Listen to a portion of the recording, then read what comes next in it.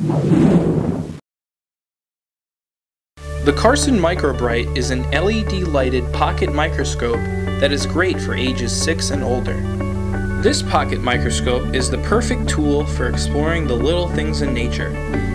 Simply place the MicroBrite directly on any subject to see a magnified view, or use the included base to view specimen slides.